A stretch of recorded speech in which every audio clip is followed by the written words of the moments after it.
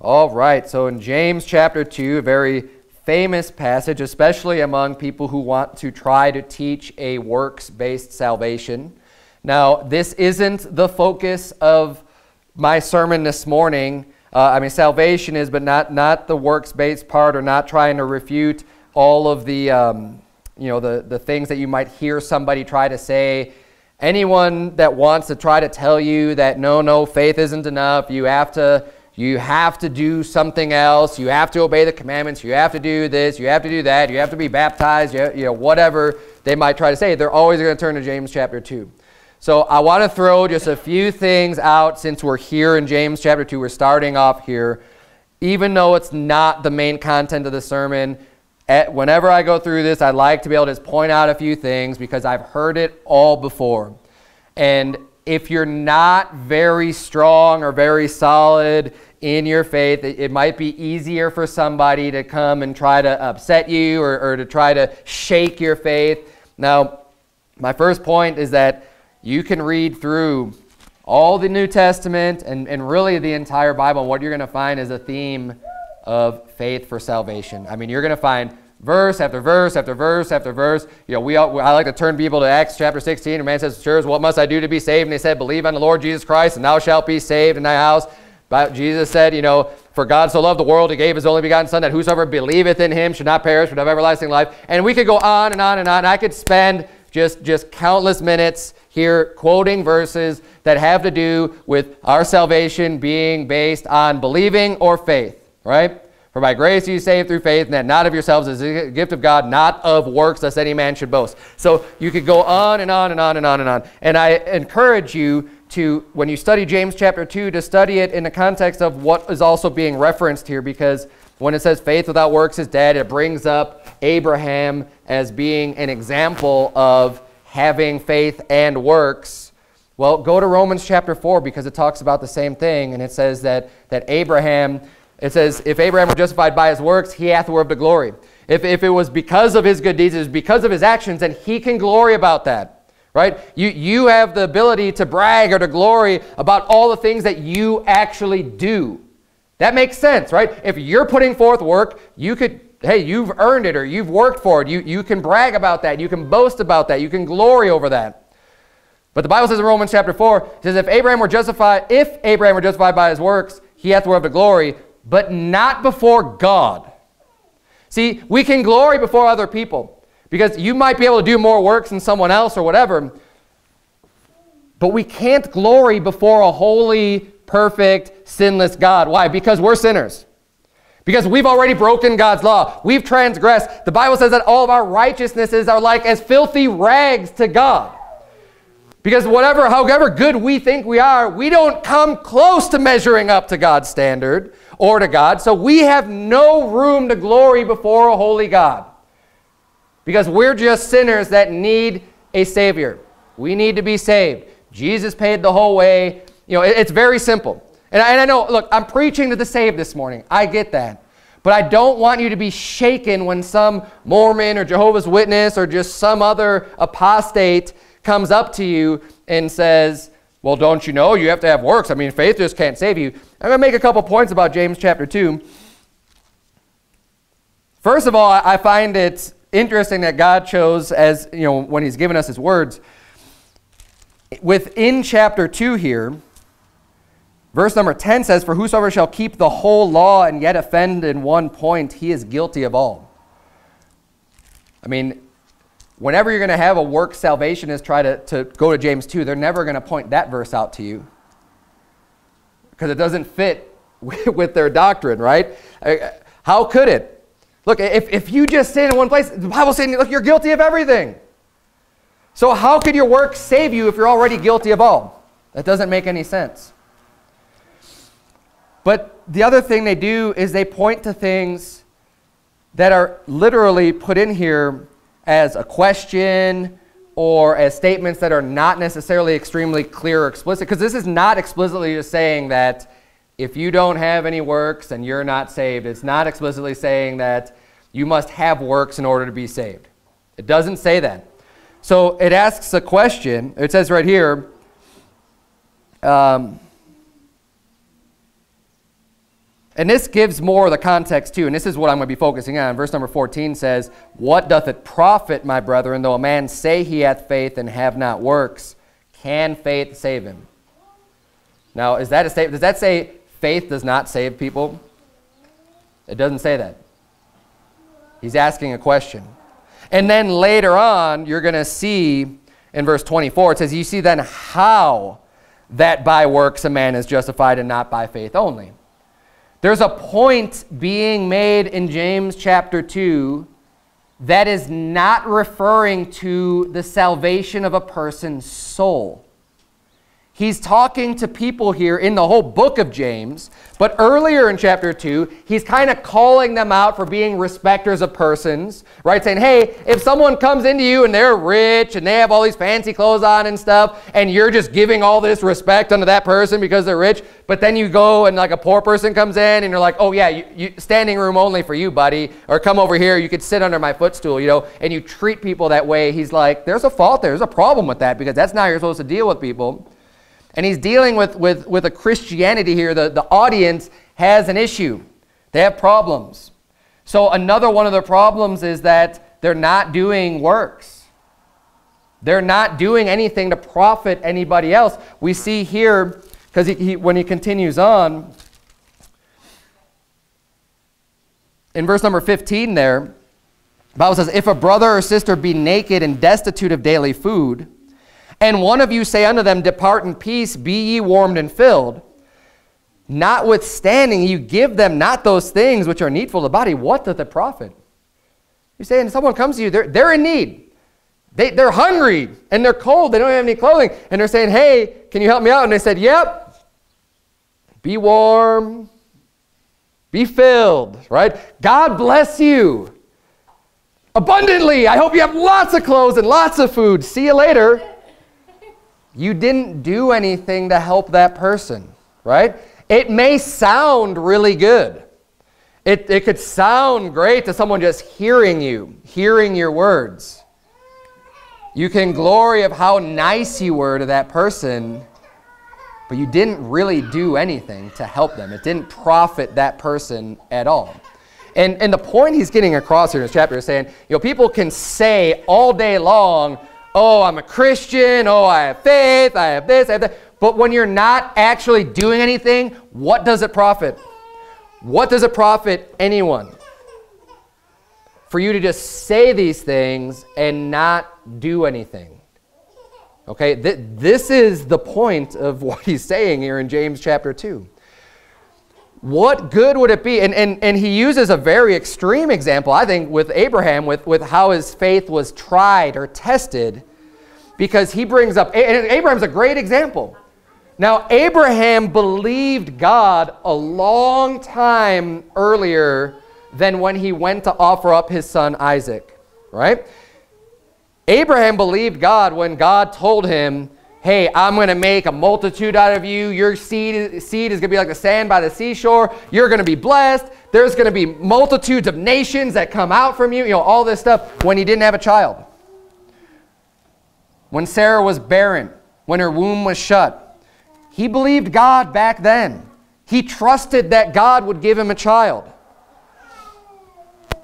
Later on, Sarah finally did have that child, right? When she was like 90 years old, she had a child. That same child, then, that was promised of God, the, the promise was still made that he was going to have this multitude from that promised seed of Isaac. So when God asked him to kill, to offer up Isaac as a sacrifice, which is obviously very symbolic of Jesus Christ. so You can see the type there in, in of Jesus Christ through Isaac. But um, I'm not going to get into all that this morning. When he asked him to do that, to offer up his son Isaac, that was a big deal. But see, we learn from Hebrews uh, chapter 11, it says that you know he knew that God was able to raise him even from the dead. So he didn't lapse in his faith because he knows that when God makes a promise, it's true and it will stand. So if God is asking him to do something like kill his child, he can't go back on the promise he already made to bless him and make a multitude of nations. So he knew that, you know, whatever God does, He's going to be able to bring my son back. He's going to still be able to make good on my promises. So going forward with what God is commanding him to do, you know, it tested his faith, but it, it demonstrated that he really did believe. That his, his faith was genuine because he was willing to go through with whatever God told him since he already believed the promises. Now, in order for the work salvationist to be correct here, like if that, if that were, if what they were saying is true, that, oh no, we need to have these works, Abraham needed to do all this stuff or else he wasn't saved, does that mean he just got saved when he went to offer up his son Isaac? On, you know, I mean, that doesn't make any sense at all. Is that when, is that when Abraham got saved, when he went and, and actually performed the works? No, of course it's not. He got saved way, way back earlier in his life when he believed God. God called him out of Haran unto a place that he didn't know, unto a strange land, and he was a sojourner in, and he didn't even inherit that land. God just called him out of his homeland to go and to the land of Canaan and, and, you know, and stay there. He was living in tents and living in a foreign land. He believed God way back then. He believed God when God promised him a child. He believed God way earlier on. And it's clear from the mountains of Scripture all over the place that say, you know, especially in Romans 4 and other places, you could see Abraham's faith that saved his soul was just that. It was faith. And that matches up perfectly with everything else in the Bible. But what was being done here, what was being demonstrated, was that Abraham didn't just have like a shallow faith or just a faith that where he said something in words, but he didn't actually believe it. He actually did believe it, and he showed that or he demonstrated that through his works. Okay? Now, once you get saved by putting your faith in Jesus Christ, you still have choices to make, and hopefully you will make choices based on your faith right? I'm going to choose to read my Bible and go to church and pray and just do these other things because my faith is in Christ, right? That would make sense. That's going to keep your faith alive and active. Now, another thing that this doesn't say here, you notice it says that uh, in verse 20, but wilt thou know, O vain man, that faith without works is dead. And in verse 26, it says basically the same thing. For as the body without the spirit is dead, so faith without works is dead also. And that's a statement. And you know what? I believe that statement 100% be true. Amen. Faith without works is dead. Your faith dies when you don't have works. But does that say that your eternal life becomes temporary and stops at that point because your faith has died? It doesn't say that. Can we just automatically conclude that? Of course not. John 5, 24, Jesus Christ said, Verily, verily, I say unto you, he that heareth my word and believeth on him that sent me hath everlasting life, and shall not come into condemnation, but is passed from death unto life. It's happened. It's done. You're sealed. You're secure. You're saved. But as a believer, if, if you know, once you've been born into God's family, you're born again. That doesn't change. But your faith can die when you stop doing any works for God. Obviously, we don't want that to happen. Your faith can die. It doesn't mean that your new spirit dies, but your faith can die. And the way that it dies is by not doing any works. And when you're not doing any works, what does that profit anyone? It doesn't profit anyone a thing. So you can tell people all day long when you're doing no works, well, oh, I'm a believer. I have faith in God. What good does that do to, everyone, to anyone else? It doesn't help anyone a thing. And that's the point being made here. That's why it says also in here, um, where it says, Yea, a man may say, verse number 18, Yea, a man may say, Thou hast faith, and I have works. Show me thy faith without thy works, and I will show thee my faith by my works. Right? And, and that's how you ought to be showing people your faith, is through your works. You know, don't... Eh, don't go telling people you have this great faith and you don't do anything for God, right? Because that's you don't. You really don't. Faith is, is something that's unseen. You know, when people take a, a step of faith, they're doing something because they trust what God's word said, but they're doing something, right? When you take a step of faith, where you go a walk of faith, we're actually doing something based on what this book says, something that you don't see, but it's something that you believe and you trust in, so you're going to actually move forward on it. Now, All of that being said, I'm segueing into what the, what the, the sermon, the subject matter is about this morning. And turn, if you would, to 2 Corinthians chapter 4.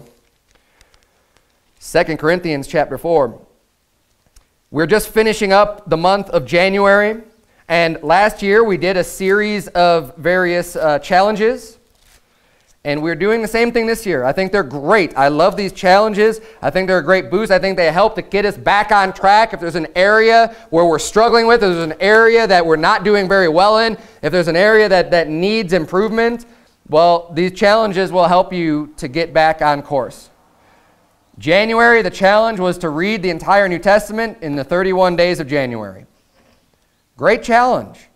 Maybe your Bible reading has been lacking. Well, you know what? That's going to give you an extra boost to say, you know what? I really need to make time to do this. This is important. If nothing else, I'm going to make sure, you know, the, the year's starting off great and my New Testament's going to be read one time all the way through in the very first month. What a great start to the year. That's why we're doing it in January. It's a great way to start the year. You got God's Word, hopefully the whole New Testament done. And as I mentioned before, I'm going to mention this with all of our challenges. if you fall short, but the challenge has made you read even more, then it's still a very good thing. Okay? If you get the New Testament read, well, I didn't finish it in January, but I finished it by mid February or whatever. Great. Hey, praise God. If you're doing more than you have been and you're kind of pushing yourself to do more, very good. That's the point of the challenge. I want to make sure that the spirit of our challenges is, is clearly known because the next challenge that starts up on February 1 is our soul winning challenge. We did this last year, we're doing it again this year, and the challenge is to try to attempt to give at least one person the gospel every single day in the month of February. Now, the point of this and the goal of this is to make us thinking more regularly about the need, the necessity of giving the gospel to the lost because it is a mindset. And I can't tell you how many times in my life I have blown opportunities to give the gospel to people simply because I wasn't even thinking about it. And that's a shame Shame on me as a believer to have a great opportunity, maybe with someone that I know, a family, a friend, whoever. And I have the perfect opportunity, and the thought never even crosses my mind. Even though they're lost, even though they're on their way to hell, just we talk about whatever, everything else under the sun. And I never once even bring up salvation. And you know what? I don't ever want that to happen again to me. And I don't want that to happen again to you either. So the, the goal of this is to be thinking, and, and you know, I did this last year, and it's not the easiest of challenges, I'll tell you that much, because I had to make it a point, you know, there's, there's certain days where I'm working from my office at home where I don't even leave the house. But for the challenge, guess what? I leave the house. I go out and find somebody to attempt to give the gospel to because it is that important. And, but the, the point, though, is that if you're thinking about this, if you're thinking about it through the month of February, then that should carry over to be thinking about it just throughout the rest of the year. And I'll go places like gas stations, Walmart, whatever. I mean, if it's late in the evening, we've got a 24-hour Walmart. There's somebody there, especially when it's really slow and no one's doing anything because there's hardly anyone even there, that you can strike up a conversation to. And now the, the thing is with this challenge too that makes it a little bit easier is you don't have to get somebody saved every day. I mean, that would be probably close to impossible here. You'd have to be spending all day just, just going out and trying to talk to people. All you have to do is just approach someone. And, and you know what? If they're not interested, you've met the, the, the criteria for our challenge. If they say, yeah, no, thanks, I'm really, you know, I don't want, okay, fine.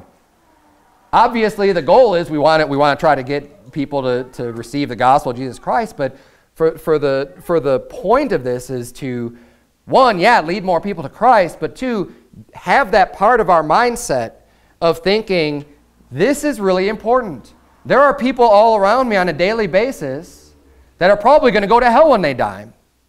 And if you don't say something to that person, how do you know that anyone else will? You don't. And what a shame that would be for you to have this knowledge, to know about this free gift, to know how easy it is, to know that we have a Savior, to know that God loves people, and, and someone can receive that now. Someone can receive that today. Someone can just receive that gift if they would listen and hear and accept what Christ did for them. It's not difficult on their part to receive a free gift. It's not at all. The work comes in on your part to decide, hey, I love people, I care about people, and I'm going to show them how they can receive this free gift that I already have. I had you turn to 2 Corinthians chapter 4. We're going to start reading in verse number 1.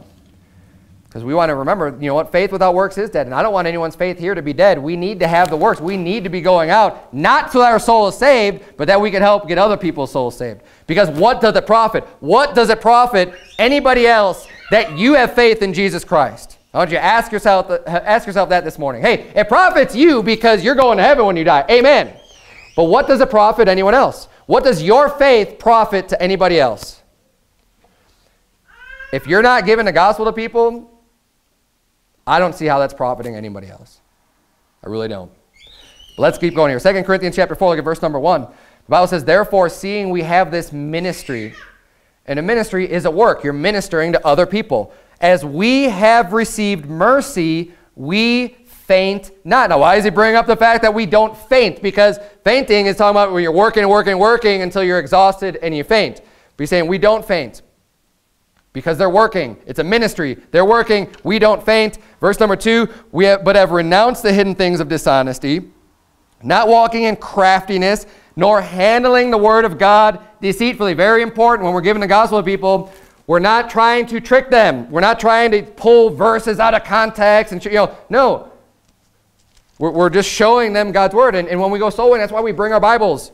Just, I mean, whatever context is needed, let's, let's read it all. And you shouldn't be afraid if someone says, well, hey, let's read that in context. Yes, let's read it in context. Let's get the whole thing because we're not trying to deceive. We're not trying to handle God's word deceitfully and try to, you know, there's plenty of people out there that do that. Mormons, Jehovah's Witnesses. Yeah, they do that. They use the they handle the word of God deceitfully. Absolutely they do. But that's not what we're about. It's just the truth. It's just God's word. We're going to bring that to people, and let's do that. Renounce the hidden things of dishonesty, not walking in crafty, nor handling the word of God deceitfully, but by manifestation of the truth, commending ourselves to every man's conscience in the sight of God. Verse number three, but if our gospel be hid, it is hid to them that are lost. If you hide the gospel, if you don't share that with anyone, that doesn't affect you. You're still going to heaven. But it's hid to them that are lost. And that's a great damage unto them because, like I said earlier, you know, how are they going to get saved? Someone, you're going to have to just rely on someone else doing the work. Well, guess what? If everyone had that attitude, then no one would be getting the work done. You can't just assume that other people are going to do it. And I'll tell you this too, when people come and visit our church, don't just assume, hey, Pastor Berzins is going to go and talk to that person. Don't assume that. Now, I'm going to do my best to try to make sure I talk to everyone that comes in and make sure that they're saved, you know, especially when we have people come in. It's really important. That's great. But don't assume that anyone else is going to do the work. Take it upon yourself to go out and, and, and roll up your sleeves and do what God has commanded all of us to do, not just the pastor, but everybody. Verse number four, in whom the God of this world hath blinded the minds of them which believe not, lest the light of the glorious gospel of Christ, who is the image of God, should shine unto them. See, Satan has blinded the eyes of the people that are lost. I mean, everyone's they're, they are blinded. And that's why it is so important to bring the light. God's word, the gospel, the light to shine through and to penetrate and to pierce that darkness and to give them that understanding. But we need to bring that light source. We need to bring it with us to the people. It's not, it doesn't just happen all on its own. Bible says that God has committed unto us the ministry of reconciliation, of reconciling sinners to God, of, of making, helping to, uh, to um, get them to receive Christ so that they could be reconciled through, through Jesus Christ's blood. Um, verse number five For we preach not ourselves, but Christ Jesus the Lord, and ourselves your servants for Jesus' sake. For God, who commanded the light to shine out of darkness, has shined in our hearts to give the light of the knowledge of the glory of God in the face of Jesus Christ. Jump down, if you would, now to verse number 15. Because again, I, I think one of the, the reasons why people don't preach the gospel very much, there's multiple reasons. Sometimes they're scared, sometimes they just think it's just too much work, whatever. But we're going to see this attitude of being able to work. Verse number 15 For all things are for your sakes, that the abundant grace might, through the thanksgiving of many, redound to the glory of God, for which cause we faint not. There's again a reference to not fainting, not, not failing, not, not just passing out, right? For which cause we faint not, but though our outward man perish, yet the inward man is renewed day by day. So even though your outward man may, you know, experience the, the fatigue right? You go out, so you go knocking on doors, and your legs start to get tired, and you start to get tired, and you feel weary and worn out. Yet the inward man, the inward man is renewed day by day. And that's your spirit. Your, your spirit can be doing great and, and is actually strengthened by doing this work, even though your outward man perishes. Verse number 17 For our light affliction, which is but for a moment, worketh for us a far more exceeding and eternal weight of glory, while we look not at the things which are seen, but the things which are not seen. For the things which are seen are temporal, but the things which are not seen are eternal. And, and this is the attitude we need to have. Look, it's a light affliction. It's not that big of a deal. It's not some huge task that's just, you know, way overwhelming and overburdening and I can't do this. I'm not strong enough. No, it's a light affliction and it's only going to last a short period of time because our life is like a vapor. We're here one day, we're gone the next. We have a short period of time, so let's use that time. It's a light affliction, and the, the rewards that God will give you for actually doing the work is going to be beyond measure in comparison to the actual work that you do. And what an amazing God, right? What, what a gracious God. How, how awesome is that to even think that, wow, God's not just going to pay me like, you know, okay, well, you just did this light work, this light affliction, so I'm just going to give you, a, you know, a little bit for that. No, he's going to, he, he multiplies the blessings and the payment to us. And, and does he have to do that? No, but he does. What a great incentive. And we should have that faith of not just be so concerned about the things which are seen. Because the Bible says, you know, things that are seen, that's temporary, it's temporal. So you get so focused on, yeah, but if I, if I spend this time at the soul winning times and I go out, then I don't have enough time to go earn money. I don't have enough time to go do this, go do that. And, and you're worried about all the things that you can see in this earth, and you can just see the physical objects, and they're all going to be gone. And it's going to be nothing. You're going to find out that, wow, I spent all of this time on something that's ultimately just vanity. On this house, on this property, on this whatever. Because it's all going to be burned up and gone. And if I would have just spent my time, you know, on other, focus on other things, focus on other people, focus on giving the gospel to people, hey, that lasts forever. What God's going to end up giving me at the judgment seat of Christ, that is eternal. But see, we don't, we don't see with our eyes the judgment seat of Christ right now.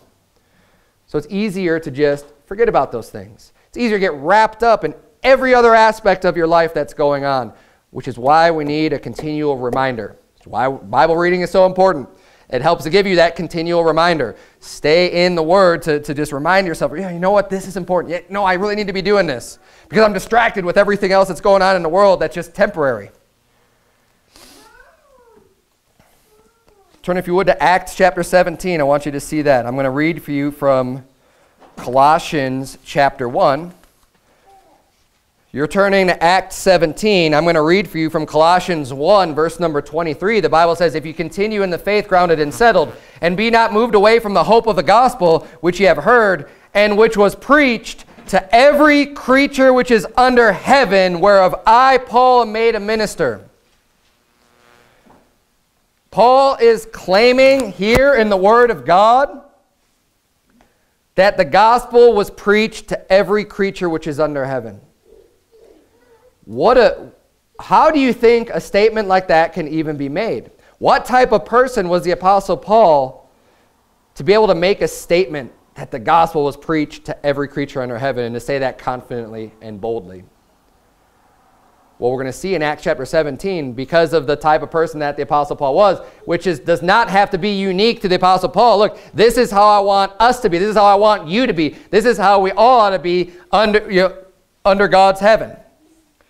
To be able to say, yeah, you know what? The gospel was preached to every creature. How about this? The gospel was preached to every creature in Prescott Valley. The, the gospel was preached to every creature in Prescott. The gospel was preached to every creature in Dewey and Humboldt and Chino and Mayer and everywhere in our area. How would we be able to say that? If we're actually doing the work and going out and doing it. That's the only way. Now we know the Apostle Paul was doing these things. Acts 17, verse number 16, provides a great example of this. You get a little bit to, in the insight of his character. Now, while Paul waited for them at Athens, his spirit was stirred. So, Paul is in Athens. He's in Greece. He's waiting for his other fellow travelers to meet up with him. So, he's just kind of hanging out until they get there, right? This is the story. And while he waited for them at Athens, his spirit was stirred in him when he saw the city wholly given to idolatry. So he's in there and he's like, man, these people are just super idolatrous. Everywhere I go, there's just these statues and these false gods. Verse number 17, therefore, so because his spirit was stirred, therefore disputed he in the synagogue with the Jews and with the devout persons and in the market daily with them that met with him. His, his, spirit was stirred. Is your spirit stirred? Is your spirit stirred? Now, you might not see all of the idolatry that he saw in Athens, right? But is your spirit stirred when you go to the grocery store, when you go here, when you go to the marketplace, when you go anywhere, and you're surrounded with a bunch of people that you could pretty much fairly well assume are not believers and going to hell? That's the goal of our challenge. I want your spirit to be stirred. I want, if your character is not like the character of Paul's, let's change that. You can change. You can, you can make things different in your life if you want them to be. If you're not a soul winner now, if you're kind of shy, if you have any other things that might be holding you back, you can change those things. I'm a, God changes those things. Look, this is, is it God's will that any should perish? Is it God's will that any should perish? No. The Bible says no. Of course not. So if, if God's will is not that any should perish, and his will is that we should go out and preach the gospel to every creature, because isn't that what Jesus Christ said as a part of the Great Commission at the end of Mark chapter 16? Go ye therefore into all the world and preach the gospel to every creature.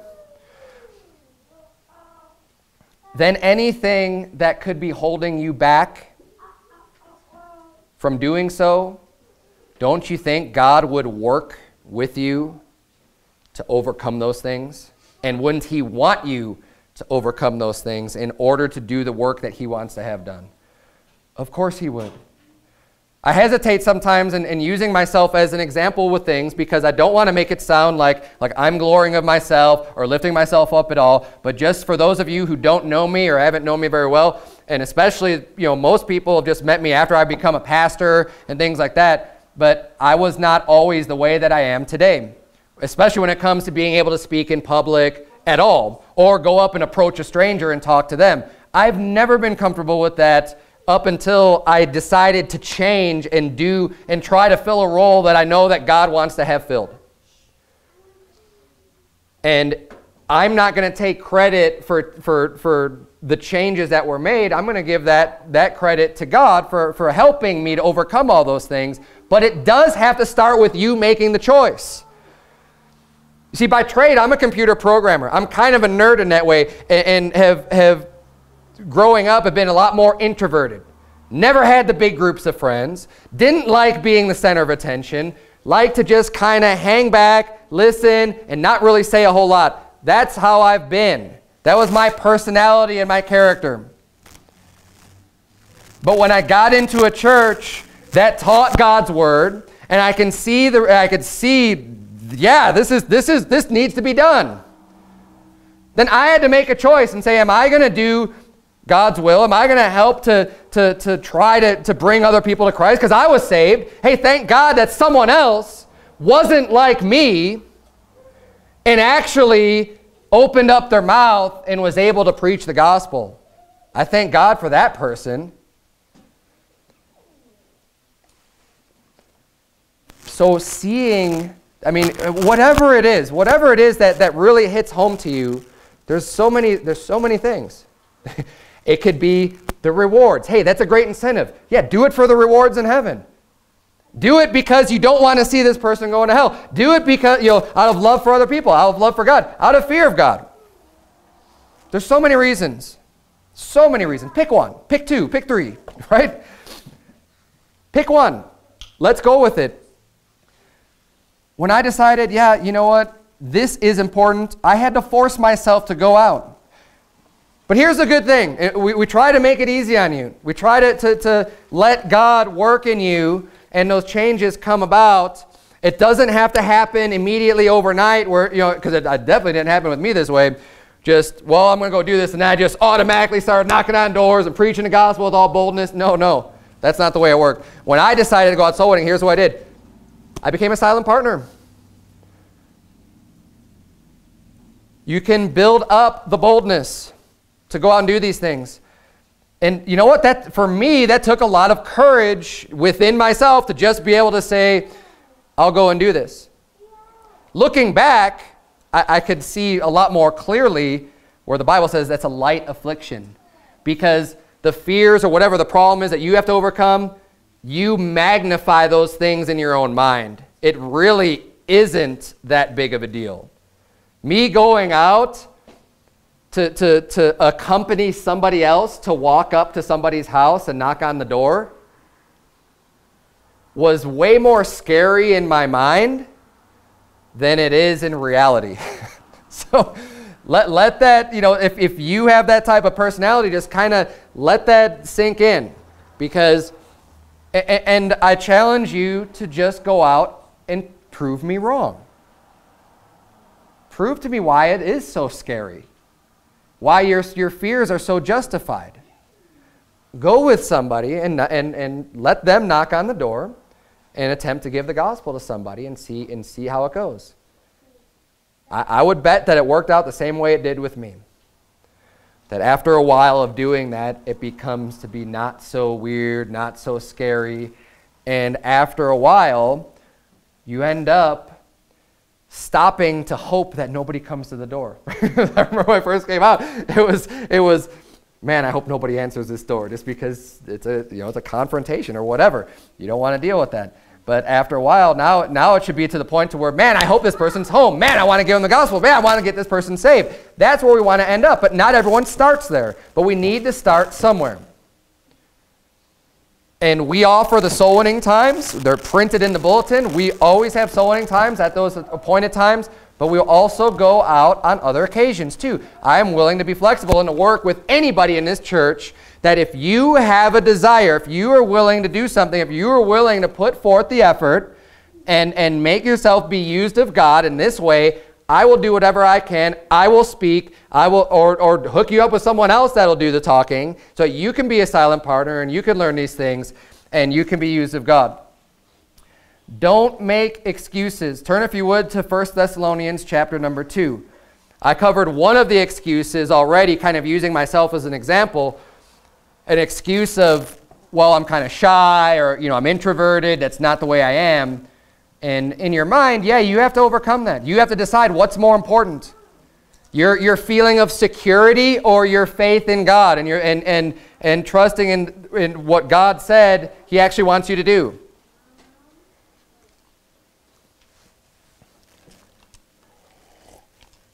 But another, another excuse that people will make is that I'm too busy. Too busy. I got too much stuff going on. Okay? Now, I, I would like to use myself for an example of this as well. But we have scripture that's even better than my example. Okay, my example, I'm married, I've got five children, I have a full time job, I pastor this church, and I go out soul winning. Okay? Tell me you got a full time job, I do too. Tell me you got a family, I do too. Okay? Priorities. What is important to you? What are you going to make sure gets done in any given day or in any given week? What do you, what do you put up at the top? Those are the things you make. I make sure my kids get fed. That's pretty important to me. You know what else is important to me? I make sure I'm in church. I make sure that I show up. I make sure that I go out. You know what? Sometimes, obviously, you can get sick. You have other things that, that are, I mean, they come up that will prevent you from doing all manner of things, right? When I get sick, I don't go to work.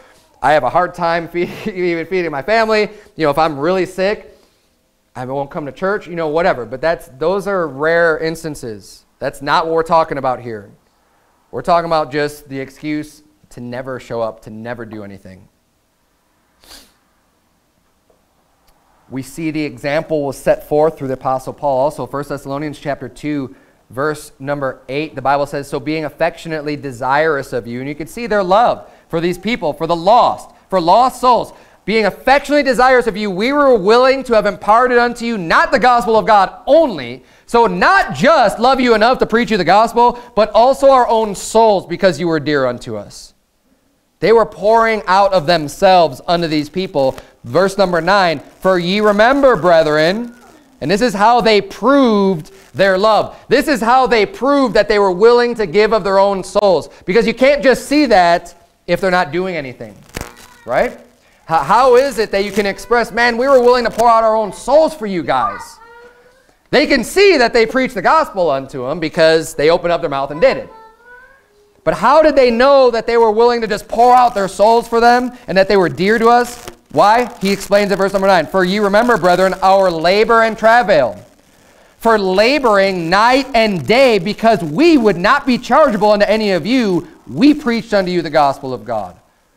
Why? Because they didn't take anything from them. They weren't chargeable. So they didn't say, hey, we're preaching the gospel. We're spending all of our time in the day preaching the gospel. So you need to help us out, give us some food. And he said, no, you know what we did? So that you wouldn't be charged at all, so that this all came completely free of charge to you. What we did, we labored night and day. We worked with our hands. We made sure that all of our needs were met, and then we came and we also preached the gospel to you. The Apostle Paul worked hard and preached the gospel at the same time. That's the example. That's the biblical example that we have. And you can see that multiple times in Scripture where, where he's saying things similar. Read 1st and 2nd Thessalonians. It's in both. The Apostle Paul proved you can work and support yourself financially and preach the gospel, but it's up to you to make that decision. Turn, if you would, last place I'm going to have you turn, turn if you would to 1 John chapter 3. 1 John chapter 3, we're all the way near the end of the Bible. 1 John chapter number 3. Because you know what this sermon is about? This sermon really is about love. This is a sermon on love. For, for everyone that's sick and tired of the preaching on sin and the hard preaching, hey, this is a sermon on love. You need to love more. You say, well, I love a lot of people. I have a lot of love for people. I don't care how many cards you send to people, thank you cards, get well cards, or how many cakes you bake, or anything that you might do that makes other people think you're a loving person in the, in, in the world's eyes. If you don't give the gospel to the lost, you're not a loving person. You're not. Not in my eyes. I, don't think any, any believer, anybody who's a believer in Jesus Christ who has the free gift of eternal life that never tells anyone else how to go to heaven and lets those people go to hell because they didn't just open their mouth and share with them how to be saved, that is not a loving person at all. You don't love people. You don't love your friends. You don't love your family when you do not tell them how they can go to heaven and have eternal life forever. What does it profit? You can say all day long that you love your family. You can say it. But what does it profit?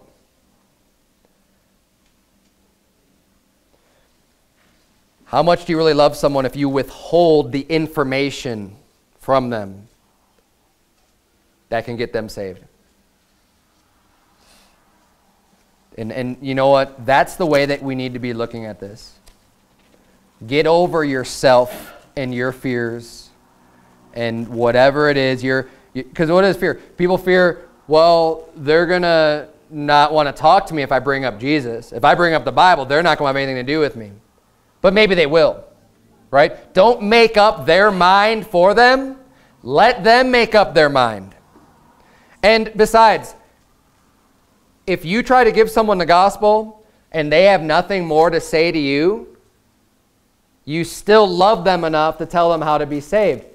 On the flip side, if you say, well, they'll never talk to me again if I bring up Jesus, and then you never bring up Jesus and they die to go to hell, is that, did you really gain anything? I mean, what, what did you really gain? They're burning in hell, and you didn't even try. And you don't even know if maybe they would have listened to you.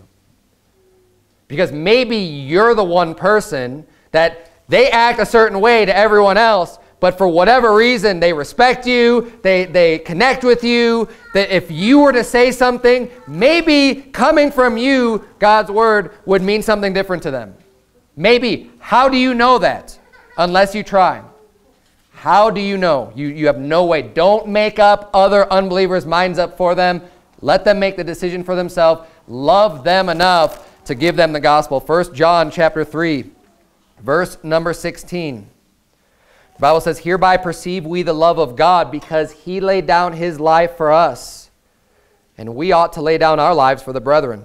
But whoso hath this world's good and seeth his brother hath need, and shutteth up his bowels of compassion from him, how dwelleth the love of God in him? And again, this is, this is going back to that same concept of James 2. He's saying, look, if you've got the, the world's good, if you, if, if you have some money and like your brother is in need and you just don't do anything to help them out, you just shut up your bowels of compassion, said, How dwells the love of God in you? God loved us who didn't, weren't deserving of his love and provided for us and gave us the gift of his only begotten Son for us. How, how could you say that the, the love of God dwells in you when you can't even help with, like, you know, basically some of the smallest of matters? Verse number 18 My little children, let us not love in word, neither in tongue, but in deed and in truth. It's not enough just to say the things. It's not enough to say you believe. It's not enough to say this stuff. Let's love in deed and in truth. With actions. That's what a deed is. You're doing something. People should know that you're a believer in Jesus Christ based on what you do, not just based on what you say. And hereby know we that we are of the truth, verse number 19, and shall assure our hearts before him, for if our heart condemn us, God is greater than our heart and knoweth all things. Beloved, if our heart condemn us not, then have we confidence toward God. And whatsoever we ask, we receive of him because we keep his commandments and do those things that are pleasing in his sight. And this is his commandment, that we should believe on the name of his Son, Jesus Christ, and love one another as he gave us commandment. And he that keepeth his commandments dwelleth in him, and he in him. And hereby we know that he abideth in us by the Spirit which he hath given us. This is his commandment, that we should believe on the name of the Son of Jesus Christ and love one another. Well, I'm guessing that everyone here already believes on the name of his Son, Jesus Christ. But what about that other part of that? And love one another.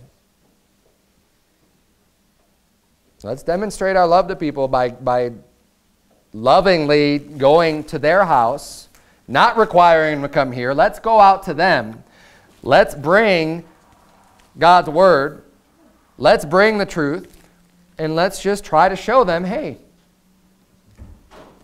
you could receive a free gift today. Eternal life.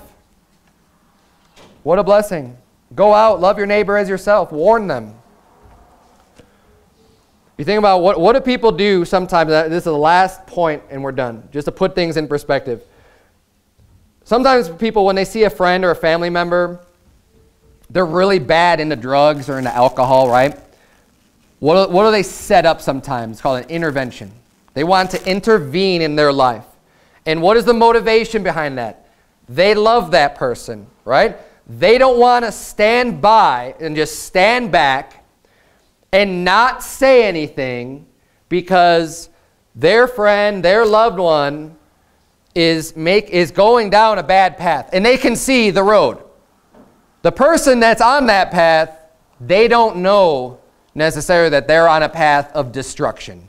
They don't see the end just being as terrible as it is, which is why you have the friends and family that want to intervene and shake them and say, hey, we love you, but if you keep going this way, you will be destroyed. It is not going to end well for you. So, hey, why don't you change? Why don't you get on the right path? People are willing to do that when they see the drugs and when they see the alcohol. People are willing to overcome their fears. People are willing to oh, maybe overstep their boundaries or bring up something that's a little bit uncomfortable because they see the end result and they care about that person enough to do so. They love them enough to do something about it. Why can't we see that the, the, the unbeliever path is headed towards destruction and hell and misery and torture and pain, and that is not the path that we want them to be on, so let's have an intervention with that person. Let's love them enough and care about, hey, where your end result is going to be is not good. Get on the right path. You need to change. You need to put your faith in Jesus Christ. That's what you need to be saved. And then we could be comfortable, no, just as you could be comfortable, oh, the addict has given up all this stuff and they're, they're, they're done being an addict and, and now their path seems to be going well. Well, people will be more comfortable with that, right? You're, you're going to you're gonna feel your job was done. Well, when you can show somebody the gospel and they can put their faith and trust in Jesus Christ, hey, at least you can know that person's going to be in heaven. They're, they're, they're going to be with me in, for eternity. We need to keep everything in perspective. Keep our lives in perspective, what we do in perspective, the amount of time we spend doing the things we do in perspective. We've got the soul winning challenge. I hope everyone participates in this. This is probably, the, I would say, probably the hardest one. I know it's the hardest one for me just because, like I said before, I'm not always out. But you know what? You can make a phone call to somebody. You can, you know, just anybody. You be driving down the street, you see someone walk. I've done this before too. I see someone walking on the street. I'll go and park my car up down the road, and I'll start walking on the sidewalk the other way. Hey, how's it going? Hey, can you? That's it. It's all it takes. Okay, it's not much. Be willing to invest five minutes of your day to 30 minutes. I mean, hopefully, if someone listens to you, to be able to give them the gospel, whatever, however long it's going to take you to, to walk through that with them. And if you don't, if you've never given the gospel before and you don't even know what to say, you could still participate in this. You could still approach people. And what we have, we have back there, we have gospel tracts, we have invitations to our church. At the very minimum, here's what, if you've never tried to give someone the gospel before, here's what you can do.